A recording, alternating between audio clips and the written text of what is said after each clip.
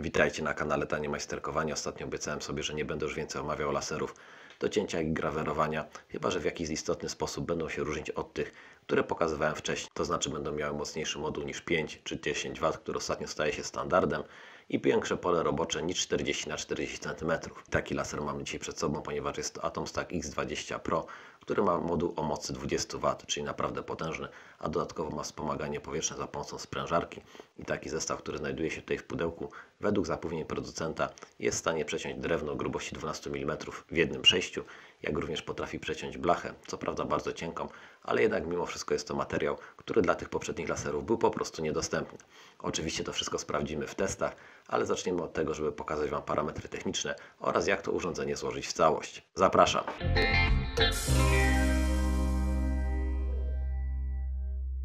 Samo złożenie, które za chwilę zobaczycie, będzie pokazane oczywiście w skrótowej formie, ponieważ te lasery tak naprawdę składa się dokładnie w ten sam sposób. Trzeba złożyć ramkę, nałożyć oś X, zamontować głowicę i tak naprawdę jest to już w tym momencie gotowe.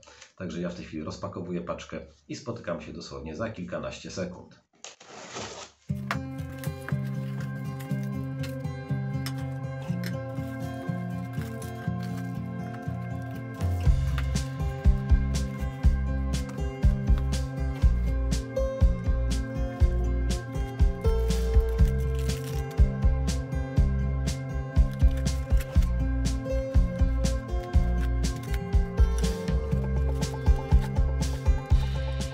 Tak wygląda nasz zestaw po wypakowaniu. Mamy tu elementy ramy, wstępnie złożoną oś X, którą będziemy musieli założyć na tą złożoną ramę. Oprócz tego mamy tutaj moduł sterujący razem z wejściem na kartę microSD. Dzięki temu będziemy mogli korzystać z tego urządzenia bez udziału komputera, co jest bardzo ważne. Mamy sporej wielkości wyświetlacz LCD.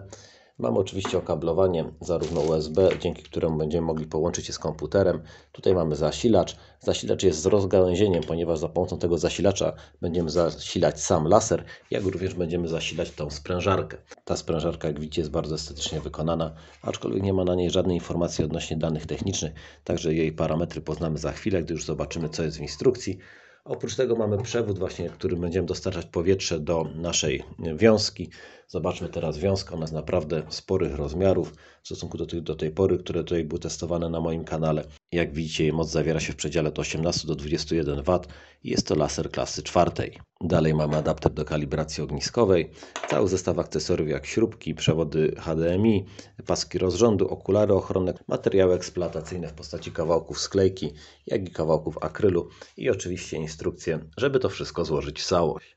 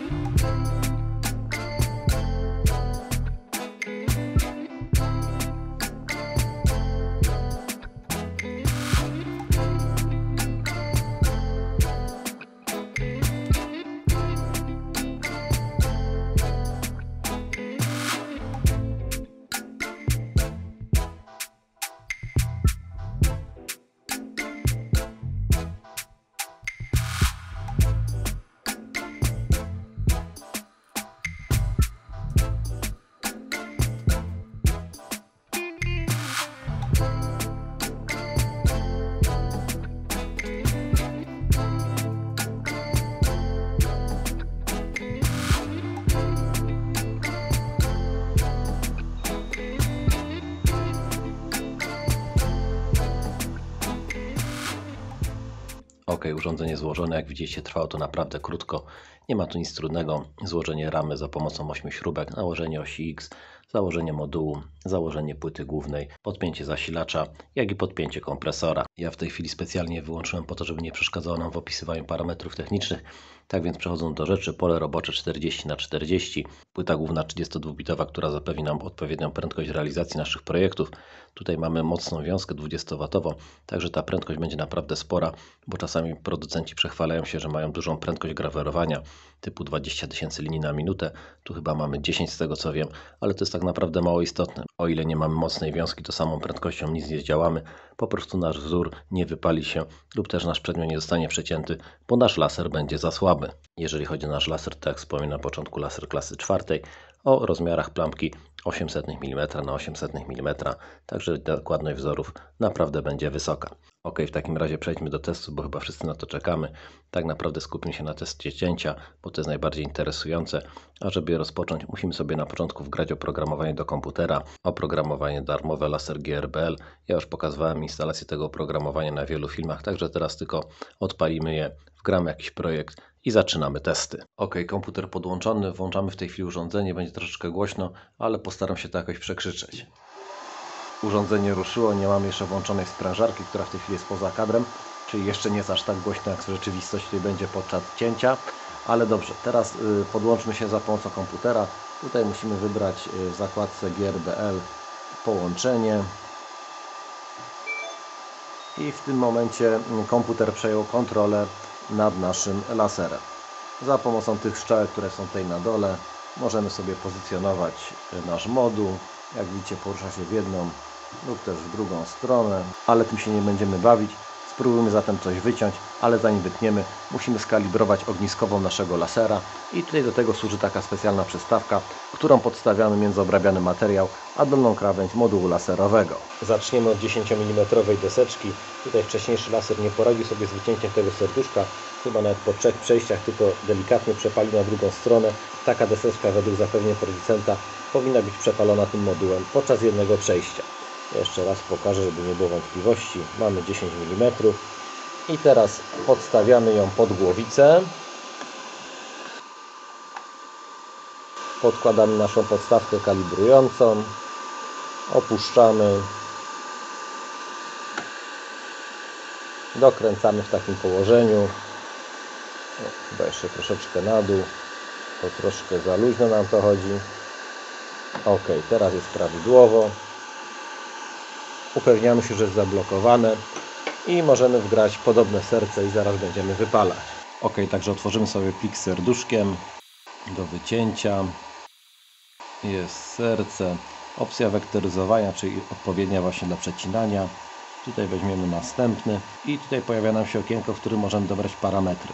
Weźmiemy sobie, otworzymy bibliotekę, wybierzemy nasz rodzaj lasera X20 Pro i teraz tutaj musimy wybrać sobie materiał. Jeżeli chodzi o drewno, to będziemy mieć pine, czyli sosna. I tutaj troszeczkę sytuacja ulega zmianie, ponieważ przy wybraniu opcji CAD mamy możliwość przecinania nawet grubości 14 mm, ale za pomocą 7 przejść. No to nas nie interesuje, sprawdźmy to jak będzie przy 9, nie mamy 10, także sprawdźmy przy 9 mm. W tym momencie spadło nam do jednego przejścia, moc wiązki maksymalna 100%, natomiast prędkość 120 mm mamy tutaj grubość 10 mm, to zmniejszymy tą prędkość na 100 mm. Zastosujemy. Rozmiar już mamy dobrany. Utwórz. I tak naprawdę możemy nacisnąć przycisk, który rozpocznie cięcie.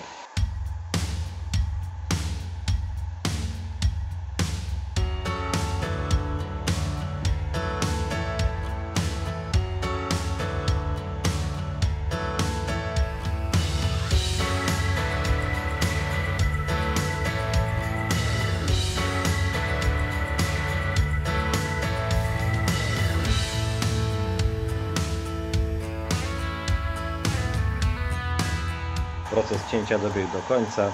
Ja w tej chwili wyłączę urządzenie, żeby nam nie hałasowało i zobaczmy, czy udało nam się wyciąć. No niestety za jednym razem nie udało się tego przeciąć, aczkolwiek tutaj ślad i tak jest dość głęboki, bo jak widzicie przepaliło praktycznie na mm, całej długości. E, w niektórych elementach, choć jak widzicie udało się w sumie to wyciąć, e, tutaj tylko w niektórych miejscach jeszcze e, troszkę trzymało, ale generalnie powiem szczerze, jestem pod wrażeniem, bo w przypadku tych laserów o mocy 10 W takie wycinanie y, zajmowało co najmniej 3 przejścia, także udało się. Myślę, że abyśmy zmniejszyli prędkość powiedzmy do 80, to przeszłoby to faktycznie za jednym razem. Wrócimy jeszcze do drewna, bo zapomniałem o jednej rzeczy. Przecież na wyposażeniu tego zestawu mam jeszcze dodatkowo sprężarkę, która wspomaga cięcie. Dlatego teraz powtórzymy ten eksperyment dokładnie na tych samych parametrach, które były przed chwilą i zobaczymy, czy gdy użyjemy właśnie tej sprężarki, to tą deseczkę, to prawda już nie tą samą, bo ta tutaj już nie ma miejsca, żeby na nie wycinać, ale dokładnie taka sama deseczka o tej samej grubości, czy zostanie przecięta przez ten laser podczas jednego przejścia. Sprężarkę załączamy pokrętłem, damy jej taką moc, która mieści się w tym białym zakresie. To jest powodą zakres, który jest jeszcze bezpieczny tej sprężarki. Przy czerwonym zakresie, przy dłuższym używaniu, niestety, ale to urządzenie może być troszeczkę przeciążone. Także ustawimy na razie na maksimum tego białego zakresu i zobaczymy, czy teraz ta nasza wiązka poradzi sobie właśnie z tą deską.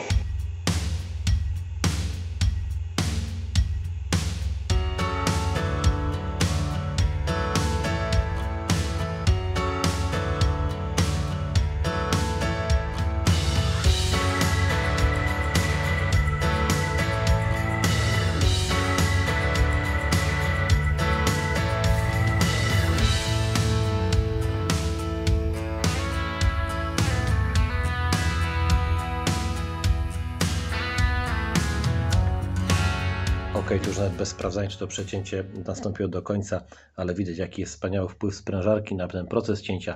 To jest ta stara deseczka, która była wycinana przed chwilą. Jak widzicie, tutaj mamy całą poprzypalaną, natomiast tutaj to cięcie jest zupełnie czyste. Podnieśmy i jak widzicie, ono już bez żadnego problemu wypada za pierwszym razem z jednej strony i z drugiej strony. Jest naprawdę super. Także powiem szczerze, że osobiście jestem naprawdę pod wrażeniem działania tego zestawu właśnie z tą sprężarką. Ok, kolejny test to będzie wycinanie w blaszce aluminiowej. Jest to aluminium anodyzowane i w takim materiale spróbujemy wyciąć sobie dalmatyńczyka. Otwórzmy go jeszcze raz, żeby upewnić się odnośnie parametrów. Wektoryzowanie podobnie jak w przypadku serduszka. Tutaj ustawiamy ponownie parametry. Mamy już w tej chwili wpisane Atom Stack X20 Pro, Stainless Steel. Y, Tutaj mamy tylko opcję cięcia i mamy tu przewidzianą grubość 500 mm. Dla takiego materiału 80% mocy wiązki i 600 mm na minutę. Jedno przejście powinno nam to przeciąć. Dobra, zastosujemy, utwórz.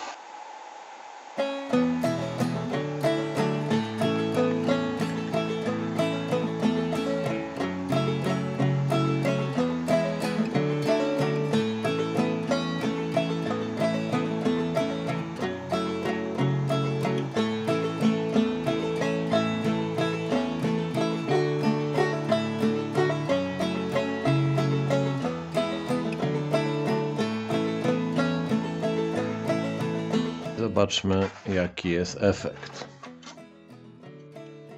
Wygrawerowane zostało, owszem, ale przecięte nie. Dobrze, powtórzmy w takim razie jeszcze raz wycinanie w tym aluminium anodyzowanym, z tym, że zmienimy zdecydowanie parametry. Ja w tej chwili jeszcze raz wgram ten plik. Dalej wektoryzowanie, ale tutaj już nie mamy 600, tylko 100 mm na minutę i tu mamy 100%, jeżeli chodzi o moc wiązki czyli podobnie jak przy przecinaniu tej deski sosnowej. To zastosujemy i możemy naciskać start.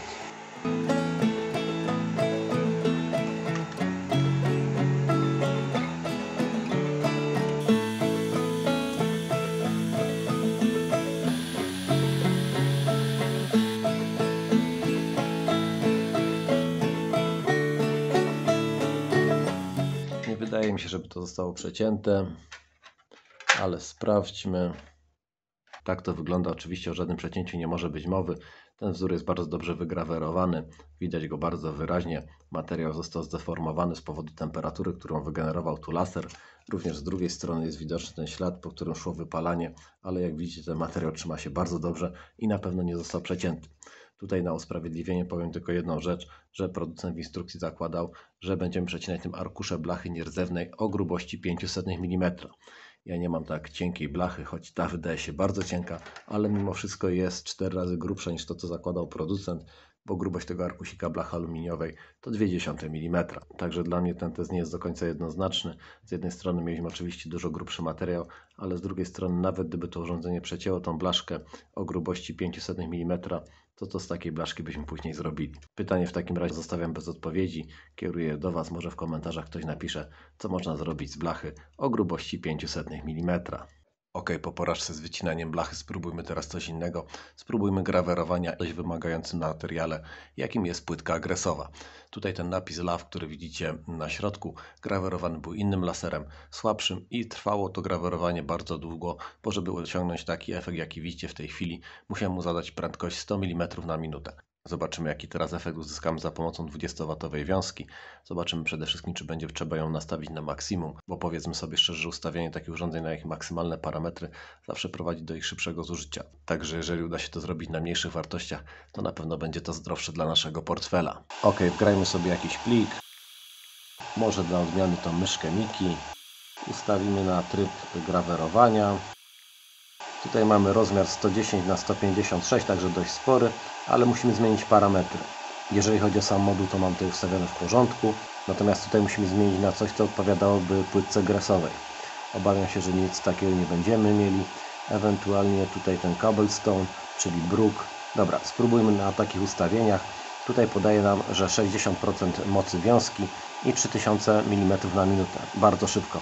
Powiem szczerze, nie wierzę, żeby to dało efekt, ale zobaczymy, a ewentualnie później będziemy modyfikować.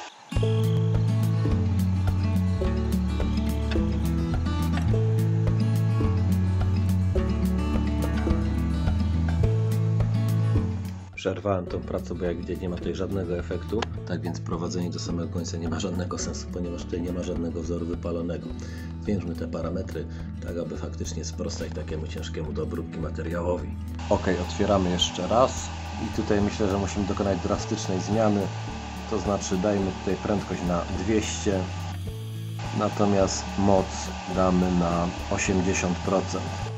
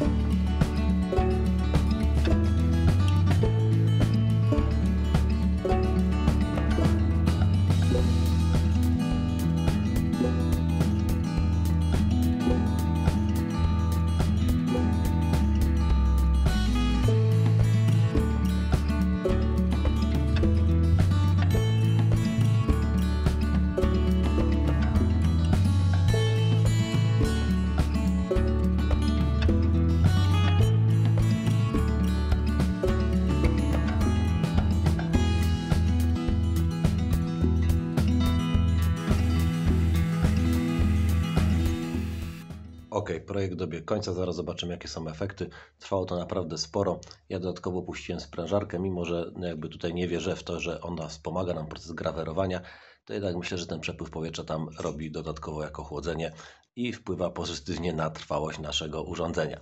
Ok, zobaczmy w takim razie jak to wyszło. Moim zdaniem wyszło całkiem nieźle, biorąc pod uwagę tutaj y, różnicę na tej kolorystyce. Widać tą monochromatykę tego obrazka.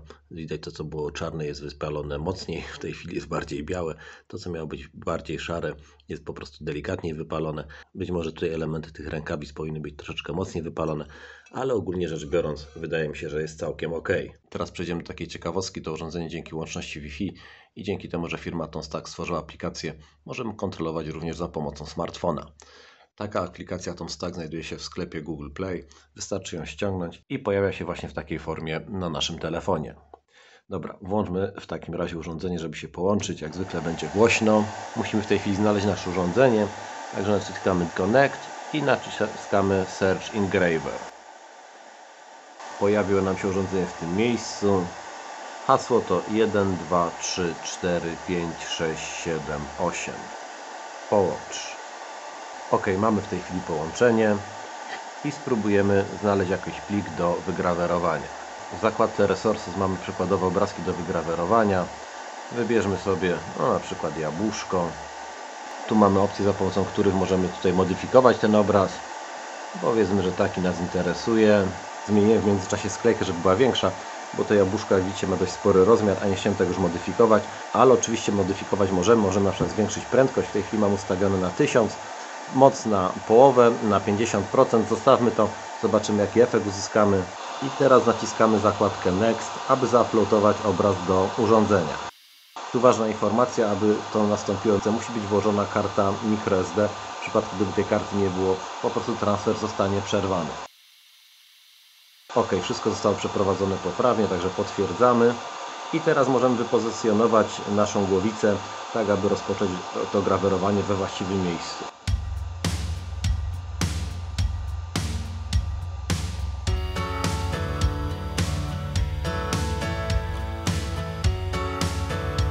ok ustawimy to jako róg i zobaczymy jakim obszarze ten nasz obraz będzie grawerowany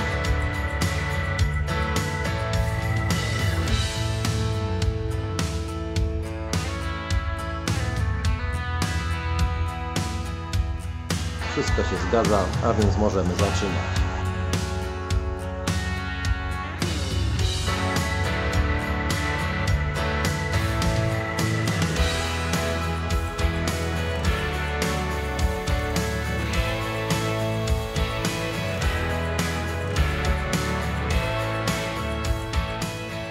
Przerwałem specjalnie to grawerowanie z dwóch powodów, już Wam pokazuję dlaczego.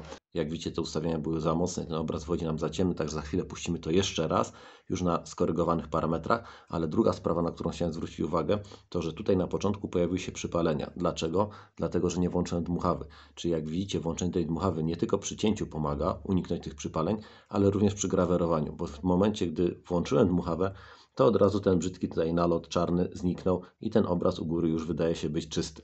Także zaraz to powtórzę i zobaczymy, czy całe jabłuszko uda nam się wygrawerować ładniej i szybciej. Myślę, że spokojnie możemy zwiększyć tą prędkość na 4000 na minutę. Moc zostawimy tą samą. I ponownie uploadujemy nasz obraz. Jeszcze raz sprawdzimy ustawienie ramki. Wszystko się zgadza, będzie po prostu powyżej tego pierwszego obrazu, który nie został do końca wypalony i możemy zaczynać. Ja tylko, tak jak mówiłem, od razu włączę dmuchawę.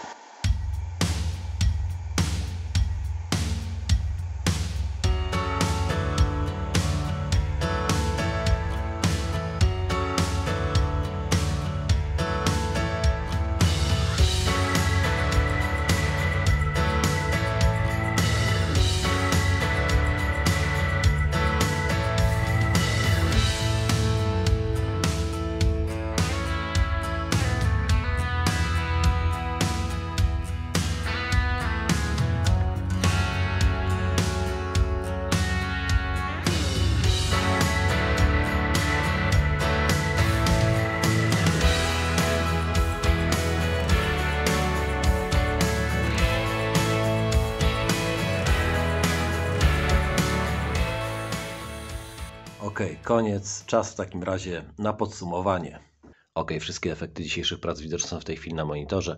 Myślę, że nie trzeba już ich po kolei omawiać. Ja tylko zwrócę uwagę na te najważniejsze różnice. Przede wszystkim przy wycinaniu. Tutaj bardzo dobrze spisała się sprężarka. Generalnie to jest część tego zestawu, którym ja osobiście najbardziej będę polecał.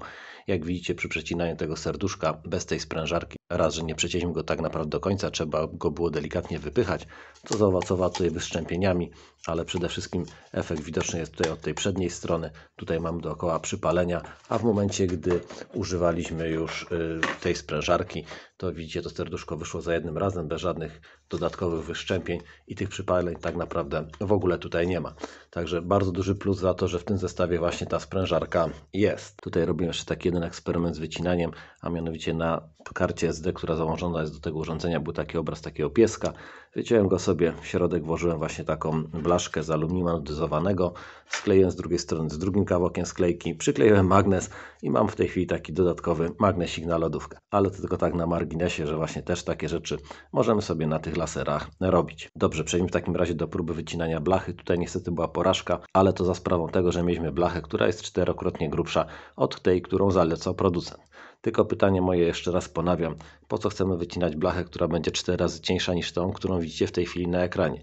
Dla mnie przy moim typie majsterkowania taka blaszka po prostu nie nadaje się do niczego. Także ja oczywiście wierzę, że ten laser przetnie tą blachę o grubości 500 mm, ale praktycznego wykorzystywania takiej blaszki raczej w swoim warsztacie nie widzę. Jeżeli chodzi o grawerowanie w pyrce gresowej, to tak jak widzicie, obrazek wygrawerował się bardzo ładnie.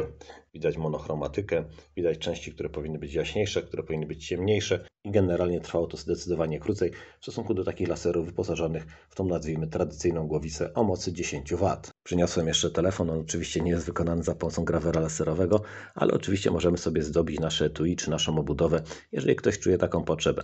Na pewno to urządzenie z takimi zadaniami sobie poradzi.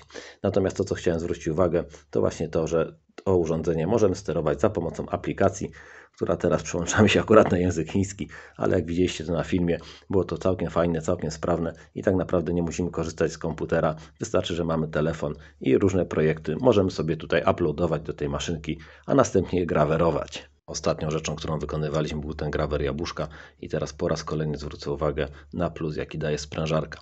Tu na początku widzicie obraz, który był grawerowany raz, że przy zbyt mocnych ustawieniach, ale generalnie na dole pojawiły się przepalenia, które na normalnym obrazie są po prostu niewidoczne. W momencie, gdy włączyłem już tą dmuchawkę, to w tym momencie te przepalenia automatycznie znikły, nawet na tym dolnym obrazku, a tutaj u góry, gdzie ten obraz był grawerowany przez cały czas z użyciem dmuchawy, tych przepaleń tak naprawdę nie ma. Także to jest naprawdę ogromny plus i każdemu w tej chwili będę polecał, aby do swojego grawera laserowego, jeżeli ma możliwość podłączenia, taką sprężarkę sobie dokupił. Jeżeli chodzi o właściwości samego urządzenia, to fakt posiadania przez niego mocniejszej głowicy oczywiście wpływa na jego wydajność. Możemy przecinać grubsze elementy, możemy szybciej grawerować i powiem szczerze, że przy takiej 20W głowicy można nawet zacząć myśleć o półprofesjonalnym wykorzystaniu takiej maszyny w swoich warsztatach. Nie będziemy to oczywiście mogli robić jakichś seryjnych produkcji milionach egzemplarzy, ale jakieś jednostkowe zamówienia po kilka, kilkanaście sztuk myślę, że są jak najbardziej do wykonania. Kolejna sprawa, na którą zwrócę uwagę, to to, że ta głowica jest wyposażona w bardzo dobrą ochronę i mimo, że producent zaleca stosowanie okularów, ja również zalecam, bo zawsze możemy być narażeni na jakieś przypadkowe odbicie, to ten element jest naprawdę bardzo dobrze chroniony, bo z trzech stron mamy aluminiową obudowę, która nie przepuszcza w żaden sposób promieniowania laserowego, natomiast tutaj mamy taką szybkę, która przepuszcza tylko jego nikłą część i dzięki temu możemy bezpiecznie obserwować postęp naszych prac i nie narażać swojego wzroku na szkodliwe promieniowanie lasera. Z mojej strony to wszystko. Jeżeli Was zainteresował ten laser, to oczywiście link do strony producenta znajduje się w opisie do tego filmu. Tam znajdziecie cały szereg parametrów technicznych, o których być może zapomniałem podczas nagrywania tego materiału. Ja dziękuję za oglądanie, za poświęcony czas. Dajcie łapkę w górę, jeżeli Wam się podobało i nie zapomnijcie subskrybować kanału. Do zobaczenia, trzymajcie się.